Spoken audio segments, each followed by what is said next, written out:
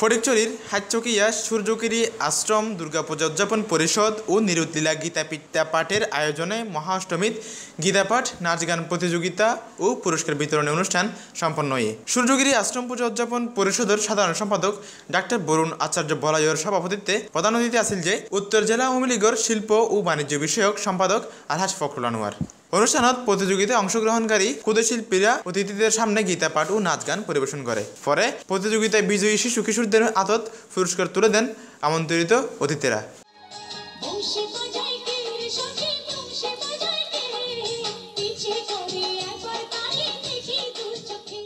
একই সাথে ফটিকছড়ি উপজেলার যথাযথ ধর্মীয় ও বিপুল উৎসাহ উদ্দীপনার মধ্য দিয়ে হিন্দু সম্প্রদায়ের সবচেয়ে বড় ধর্মীয় উৎসব শারদীয় দুর্গাপূজার প্রতিমা বিসর্জনের মধ্য দিয়ে আজিয়া পরিসমাপ্তি করছে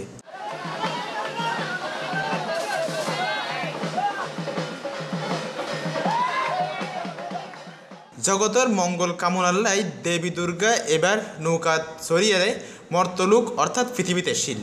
আর দেবী ঘোড়ায় চড়িয়ে স্বর্গালোকত বিদায় লয়। বিসর্জনের মধ্য দিয়ে নানা আনুষ্ঠানিকতায় বিদায় জানানো হয় দেবী দুর্গারে। দেবী মর্তলোকোত্তন আবার স্বর্গলোকত গমন করছে এই প্রত্যাশা সনাতন ধর্মাবলম্বী অক্ষলর।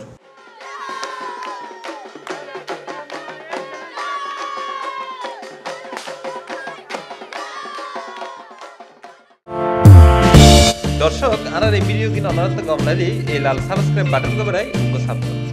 এবং সি প্লাস ফোন এই